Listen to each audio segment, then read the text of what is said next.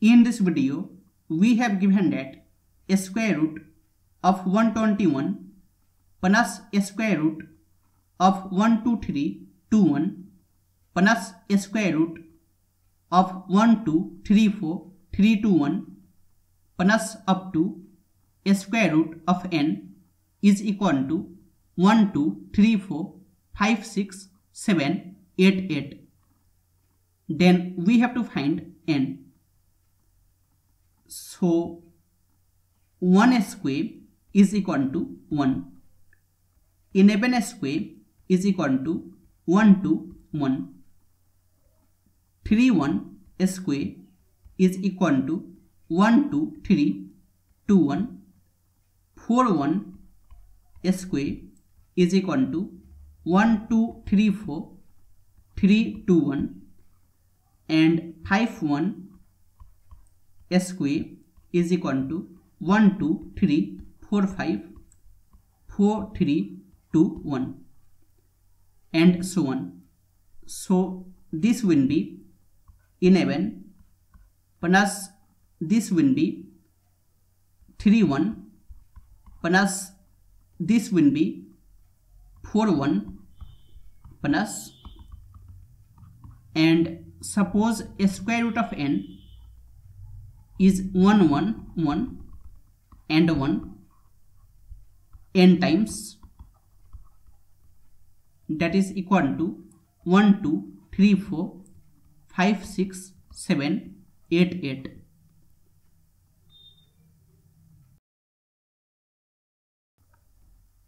and if we add 1 1 1 3 times 1 4 times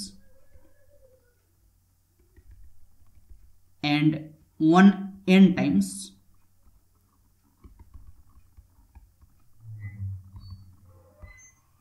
Then we are getting 1 2 3 4 5 6 7 8 8 it is 8 8 7 6 5 4 3 2 and 1 now 1 plus 1 plus 1 plus 1 is 8 that means 1 can be 8 times 18 times and so on. But again 1 plus 1 plus 1 plus 1 is 8 that means it cannot be 18 28 38 and so on. It should be 8 that means there are 8 rows. And in first row there are two ones. In second row there are three ones.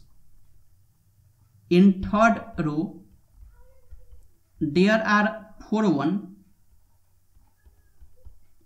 So in eighth row there should be nine ones. So this n n is equal to 9 and a square root of n is equal to 1 1 1 1 1 is 9 times. So n will be equal to 1 1 1 1 9 times a square. So n will be equal to 1 2 3 4 5 6 7 8 9 8 7 6 5 4 3 2 1